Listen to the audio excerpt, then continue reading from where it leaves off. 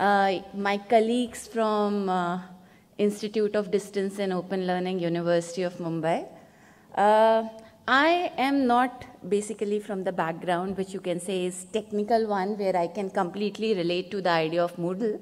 But I have been part of this learning environment in the sense that some of my trainers are sitting out here who, who taught me how to understand the platform. Uh, I am talking from the perspective of that when, as a teacher, we try to use this platform, specifically in the public universities. Okay, I'm not talking about uh, institutions like IITs out here or IIMs out here or Tata Institute of Social Science out here. I'm talking about public universities. I'm not even talking about uh, private universities. Say, for example, there was a presentation, opening presentation by, by D.Y. Patil. I'm talking about public universities uh, from, from the teacher's aspect and, and also from the aspect of how exactly the Moodle has picked up and how much it is being used. So uh, that is the focus of the presentation. Already, I think right from the beginning session, the discussion is on that when you talk about uh, open resource learning management systems, there are multiple advantages associated with the same. Say, for example, when you refer to any online uh, learning management system, it's freely available. Moodle is one of them. It is easily accessible. Once you have the connectivity, you can just go for it. Uh, you can customize it. It is scalable. You can have uh, possibly lakhs of users at one point of time when you're running programs on the same. You can build in interactive courses. It can become a platform of blended learning. It can, it can be a platform for offering online courses per se. Uh, it, you can do so many assessment formats which you can run on these kind of platforms and the cost advantage because this is completely for free. And all these advantages are available as far as Moodle is concerned. When you talk about uh, versions, they are regularly updating it, they are customizing it, they are helping in customization, they are continuously answering to the query. Say, for example, the uh, presentation which was done previously, IDIA, uh, she spoke about that how uh, she had put in a query and within hours she got a response. So all these things are available when you talk about Moodle as a platform. It is helping universities in building up uh, uh, courses which, which, which assist in blended learning, uh, registering users, online assessment, tracking the progress of the students, everything is there. Okay. Uh, and worldwide, there are examples where universities have used it. Okay, say for example, when you refer to Brazil, multiple universities and, and possibly again lakhs of users. Germany, same is the case, or Italy, same is the case. So Saudi uh, government itself has been promoting it. South Africa, Spain, United Kingdom, United States. Okay, so there are lakhs and lakhs of users when you're talking about Moodle as a platform. But when you talk about India, okay, and when you talk about public universities, because I am a teacher from a public university, uh, we need to understand that what exactly is the scenario. So what I did was I selected the top 10 public universities in India. Um, and, and the basis of this selection criteria is NIRF ranking. That can be controversial. People can say why this, why that. But there has to be one. So I selected a national ranking framework, which is uh, used by Ministry of Human Resource Development itself. Uh, and top 10 public universities from there were drawn out. So they happen to be JNU, then it is BHU, which is Banaras Hindu University. Jadavpur University, Anna University, University of Hyderabad, University of Delhi, uh, Pune University, Savitri Bai Phule, Pune University, Aligarh Muslim University, Jamia Millia Islamia University, and University of Kolkata. Uh, because University of Mumbai does not come in into that top 10, but because I come from that university, I've also put in there. Uh, but uh, rankings are not the issue out here. The issue out here is that how much are the public universities in India, in spite of whatever Moodle can offer on its platform, are actively using it. So further, in order to understand the usage, I navigated through all these universities and I went beyond that also. It's not that I just limited my uh, study to these universities. What I realized is there are certain universities which are extremely active, and there are certain universities which are completely uh, passive. They are doing nothing except for holding once in a year or maybe once in two, three years a workshop. Beyond that, they are doing nothing. There is only a lip service as far as Moodle is concerned. So the active universities first. That is, let's, let's start with the good part of it first.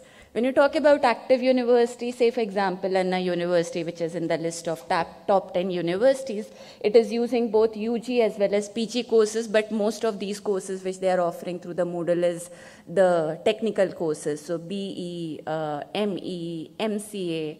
They're being actively, uh, uh, no, uh, being offered, offered in the sense that not completely, it's, it's, it's uh, uh, part of it uh, assisted learning kind of environment. It's, it's not even blended, possibly. It is assisted kind of assisted kind assisted kind of learning environment which is being offered. But at least a university, which is a public university, is, is making an attempt to do that. Uh, when you talk about University of Delhi, extremely active. Uh, and specifically uh, when you refer to uh, courses, various disciplines. It, it, it is not just limited to the technical courses, it is also incorporating commerce and management, humanities, and uh, uh, multiple platforms. But when you talk about uh, virtual learning environment, they, have, they are using multiple platforms through which they can extend these courses. And again, I'll not say that this is completely being offered on the platform of Moodle but it is kind of an attempt which is being made in the sense that little bit of it is blended, little bit of it is assisted learning, but extremely active. Uh, like when, when you see the way uh, they have progressed, the way they are using the platform, it's, it's extremely appreciable. Um, the third university which I'll say is active, but then I've written limited activity, is Savitri Bai Phule, again among the top 10 universities. Uh, very few courses are being offered, physics, chemistry, uh, one, I think four or five courses in skill development, um, electronics, four or five courses. Beyond that, not much. And it's not even regularly being updated. Means it's, it's not very uh, current in the sense that if I wish to connect and if I wish to say, okay, can I keep on learning on this platform? That is not what is happening. Jamia Millia Islamia, again, very limited activities, science and mathematical courses. These are the focus of this specific university. University of Mumbai, where I come from, again, there is a limited activity. I'm not saying that there is no activity at all. There is limited activity in the sense that I am a faculty from management department, uh, and somehow the use of Moodle is limited to Institute of Distance and Open Learning.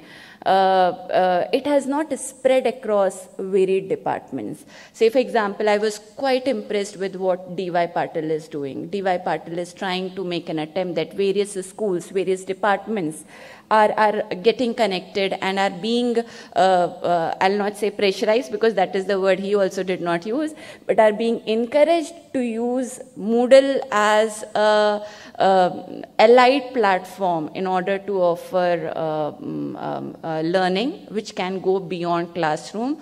Uh, possibly students can again revisit some of the lectures, students can access PPT, etc. So as far as University of Mumbai is concerned, the institution which I come from, uh, the use is limited and use is limited to Institute of Distance and Open Learning. But that I believe is again a disservice to the Moodle as a platform because it is not just meant for um, institute of distance and open learning kind of environment. You can use it in so many multiple ways.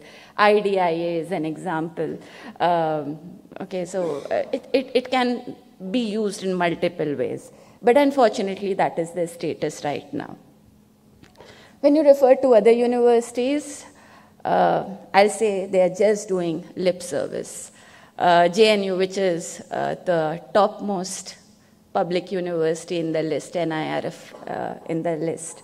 They have no Moodle platform at all, except for holding a workshop way back in 2013 14. They have not gone beyond anything as far as that platform is concerned. Same is applicable to Banaras Hindu University. Yes, some attempt has been made by their uh, IIT uh, uh, school, but then there also the use is extremely limited. Jadavpur University, almost absent. University of Hyderabad, nothing is available. Aligarh Muslim University, nothing is available, and Calcutta University, nothing is available. So this is the status of when you talk about top 10 public universities in India. Uh, what can be the reasons? Uh, say I have not conducted a survey to find out the reasons, but being a teacher of a public university, what I can say, the reasons are definitely uh, some of this limited awareness um, I come from, as I said, uh, Department of Management, University of Mumbai. Uh, it was kind of my own uh, uh learning desire that I tried to understand Moodle as a platform, and I felt yes, it can be incorporated. But the kind of push which is generally needed, because you need to break barriers, you need to understand that it can be used uh, on, on a large scale, somehow those barriers are not uh, uh, going away. Those barriers are existing. Uh, maybe faculty still is not able to understand that how widely you can use it and how scalable it is. So that that definitely is a problem. Again, when you look at IITs, uh, when you look at uh, uh, use of Moodle, somehow a perception has been built up that this, this platform is more suitable for those who understand technology and come from science and mathematical backgrounds. Okay, but again, that is not the case. TISS is using it wonderfully. IDIA, the presentation just before me, have has depicted that how wonderfully you can use it but somehow this perception is existing and another thing which i believe now is becoming an unfortunate part is that uh, the focus from moodle the way it was there uh, say for example three years ago four years ago five years back that how you can scale it how it can be beneficial for uh, uh, assisted classroom learning or say for example even for offering online courses.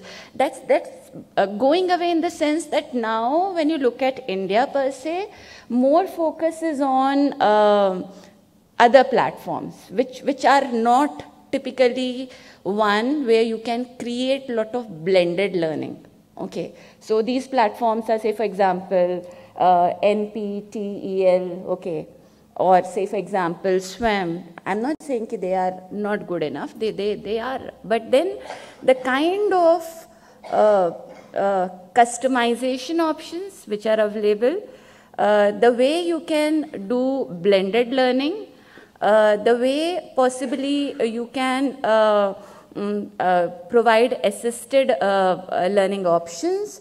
Uh, the way possibly you can reach till the last mile and build up uh, possibly online uh, tests, say for example, to build up capabilities among those who otherwise cannot have access to proper education those are uh, uh, possibly are not the formats uh, which are available as far as these are concerned. Yes, I want to do a course, I can do that through A, B, C, but uh, I, I, can't get all those advantages which are available on Moodle.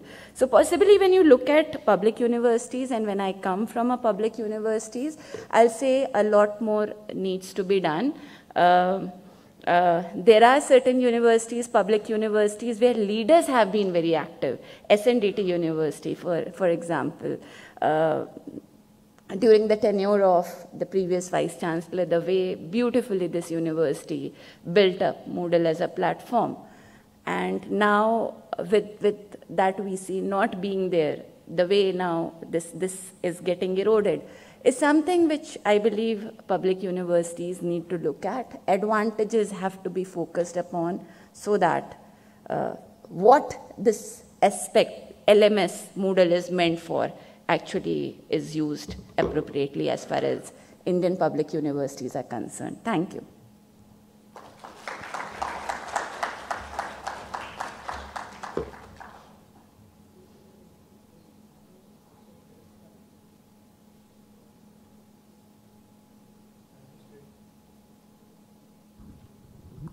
As you stated in the problems that national program by IITs is a problem, but I got introduced to Moodle through that program. So, as part of FDP programs that are conducted by IITs, I was introduced to Moodle, and after that, I was uh, I implemented Moodle in, my, in our college. So, how can we define that it's okay. a problem? Yeah. See, I'm not saying it's a problem per se. What what what is happening? That uh, focus, see, for any uh, kind of uh, LMS to pick up, there needs to be a focus on the same. Once that focus shifts, then it's very difficult to you know, build up in, in terms of scale. So when you look at Government of India focus at the moment, it's not so much on using this kind of platform for building up scale in public education as much as it on uh, uh, the courses which can be offered through NPTEL or say for example SWAYAM. I'm not discrediting them, not at all. I'm saying it's about the focus at the moment. Ma'am, just a very short question. Yes. Are you saying that these public universities don't use any LMS or are you saying that they don't use Moodle specifically only? Uh, no, I'm not saying that public universities are not using any LMS, okay? Uh, but uh, see, one, when you talk about LMS uh, uh, and public university, the cost advantage is definitely an aspect which is looked into because funding aspect is definitely an issue. So Moodle is one which is very uh, A, the cost aspect is, is, is, is negligible uh, you can scale it, you can customize it, fine. Uh, uh, so it's not that ki public universities are not exploring, but this was one or this is one which is most widely used, okay, across the board. So when you look at top 10 public universities and usage, uh, I've already presented you what is the status, yeah.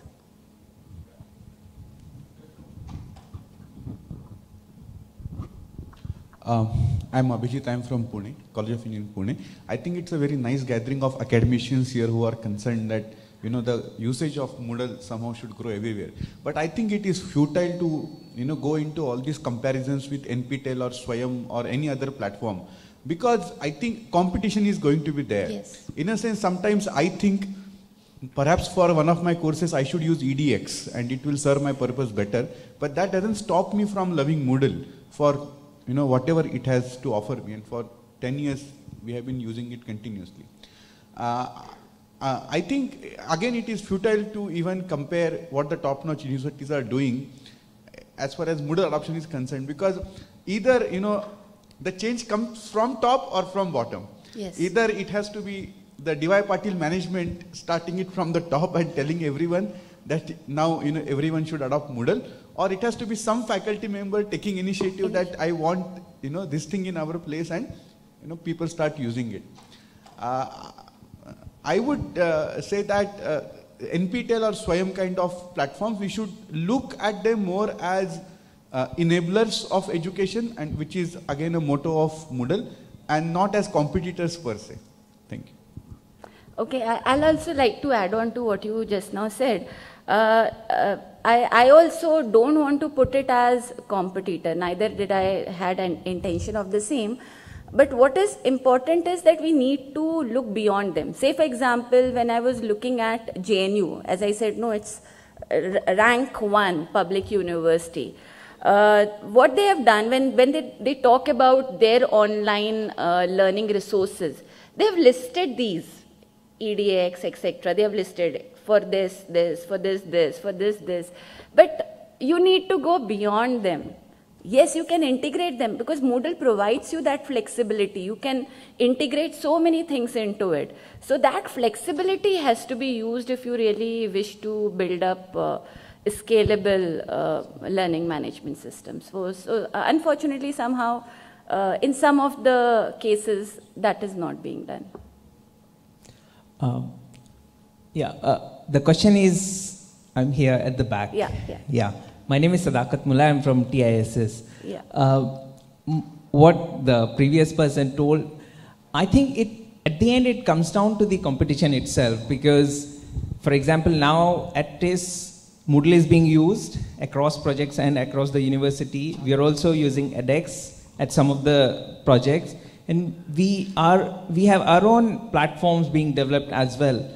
So at the end, I think we do need to come to a point where we select some of the best working models for the platform for the learning systems because there is a there's so much which is being developed eh, in technology and technology is being dubbed as a game changer or a re- uh, revolutionizing education etc etc so what do you propose? How, how do educators and educational institutions should select or choose educational platforms? What are the criterias one should look for, or do you have uh, such criterias there out in the research arenas? Uh, uh, first of all, um, I think it's a very interesting uh, uh, discussion which you have uh, raised. And you yourself have kind of answered it by saying that we need to look at multiple options, right? Uh, see, what I found as, uh, uh, as, as a learner while I was uh, studying the platform of Moodle uh, is that uh, it, it provides you that blend. In case you want to blend multiple formats to it it's possible. And it, and it also creates interactive dialogue kind of platform so and, and it is not closed in the sense that on this platform you can't use other platforms you can build in links you can build in videos you can do so many things so uh, uh, what, what's more important is choosing those uh, learning management systems or maybe even platforms which give you that flexibility to navigate. That's very important. Yeah. Uh, yeah. myself, Satish, again from TISS. So, uh, I'm talking particularly about the problem that uh, when we are using any platform. So, I'm not talking particularly about usage of any platform, but uh, do we think, like, the, uh, I would like to get reviews from uh, others as well on this. Yes. Uh, do we think problem also lies in the development of the content itself? uh, it doesn't matter like which platform we are using, but the content itself, like developing the content, meaning whatever simulations, GIFs, or uh, along with the text itself. So, is there any lag in that itself, which is making uh, Uh, losing out on the platform usage? Okay, in case you're opening up the question to others, it will be great, but Yeah. uh, yeah. Can Uh, I add to? Yeah, I'm here. Yeah, yeah. Yeah, so I think the problem is that we are only looking at why public universities are not using an LMS. But we are not asking the fundamental question that as a society and as a government, how much has the new world really absorbed into our institutions? Are our institutions looking at digitization and education per se? Use of an LMS comes much, much later, and use of content comes much late, later. Are we questioning the education system and saying now in the new digital world, the entire game has changed, and therefore I think we need to move to this, this, this? So, without looking at the entire philosophical picture of where the country is going digitally or where the world is going digitally, you, the public universities are going to be like this for the next 10 years because they are just not absorbing what is happening outside. Private universities, we saw the example, right? So I think we are not, as a country, we are not moving because some of the fundamental questions we are not able to answer. And culturally, we have certain issues with moving towards technology. The distinction between who does technology and content is a big problem in this country. And we're not addressing that. Most of the Moodle sites of top colleges, including, uh, including TISS, I'm sorry to say, and St. Xavier's College, are underutilized and not being used. Somebody sets up the Moodle, nobody uses it after that. Why? Okay, because as a culture, there is not an absorption of this digitization into us as teachers, as educators, as government people, as people who make policy. We think education is X and digitization is Y. So we don't integrate it. Okay, so I mean, I, I think we need much more discussion on the fundamental aspects. Why DU has absorbed it and why Anna University has not, or whatever, is secondary. as a country, and, and the students are learning somewhere else. So, I mean, you know, we really need to look at the education system entirely. From my experience, what I'll say is, from my experience, again, working for a public university, as I've already said during the presentation, uh, there are silos. Uh, uh, it appears to be as if Moodle is meant for distance and open learning education.